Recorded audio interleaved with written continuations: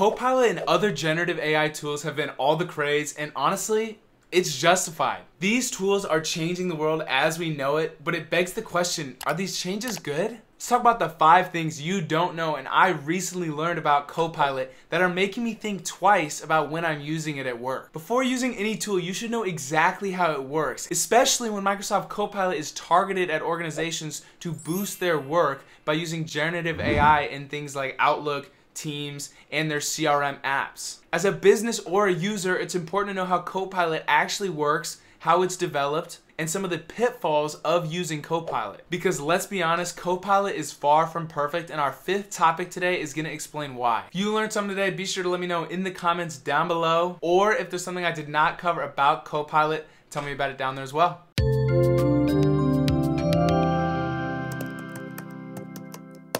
The first and most important thing to know about Copilot is it does not store any organizational or conversational data. This has many pros and cons. For our pros, this helps boost security in your organization. The knowledge sources that you give Copilot access to are not at risk if the Copilot were to be hacked. Security is probably the largest consideration for organizations on if they should use it, and Microsoft has communicated their confidence countless times in Copilot's ability to protect against data threats. This is a double-edged sword because that means if you close out of a Copilot conversation, you're not going to be able to pick up that conversation where you left off. Say for example, if you are using Copilot to write a sales email to a customer and it spits out a email output, if you don't copy and paste Copilot's output and you were to close out of Copilot, then you're not going to be able to access that. Because of all this, Copilot does not learn from the conversations that are happening within your organization,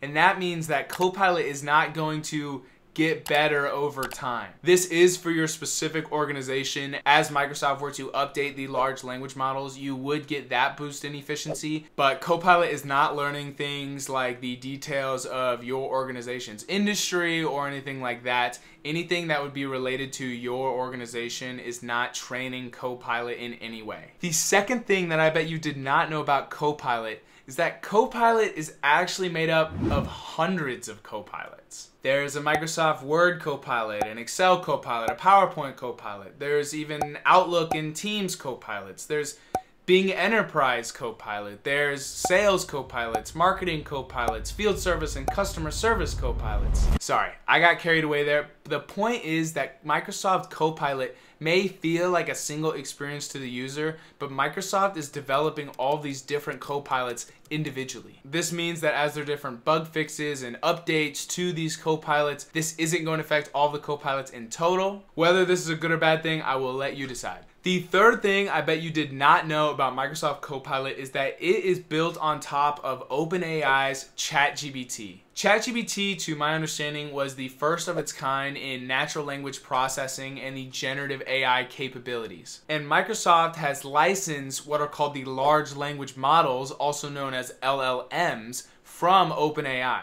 Essentially, ChatGPT's contributions to Copilot is the ability to understand natural language process it, develop an output, and then spit an output back out to the user. Microsoft is now responsible for developing and maintaining Copilot on top of the LLM. Microsoft is responsible for developing Copilot, fixing potential bugs in Copilot, etc. If OpenAI were to change its LLM, this would not affect Copilot as they are now separate. For our cleanup hitter in our number four spot is going to be Copilot Labs. Copilot Labs is something I had actually never heard of until I was studying Copilot for this video. I am going to be making a future video covering Copilot Labs in a little bit more detail, so if you are interested in that, be sure to subscribe.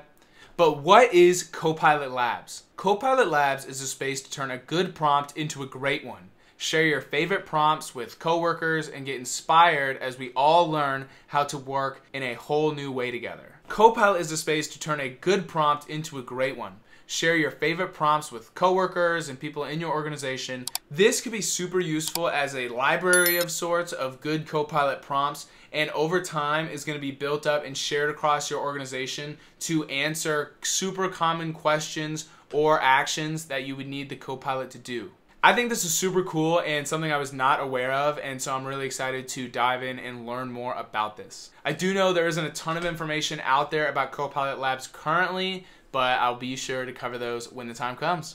The fifth thing I bet you did not know when using Copilot is actually a pretty big limitation. One of the Microsoft's fundamental principles in their approach to AI is what's called fairness. Fairness is essentially making sure that the outputs of AI are not biased. And one thing you need to keep in mind when using Copilot is Copilot is not inherently bias resistant. While it is a principle of Microsoft to not facilitate bias, Copilot is only as fair as its knowledge base. This means that Copilot's output may be biased because its input or the knowledge base is biased. A large limitation is that Copilot is completely dependent on the knowledge sources your organization has given it. Bad data is going to cause Copilot to be effectively useless.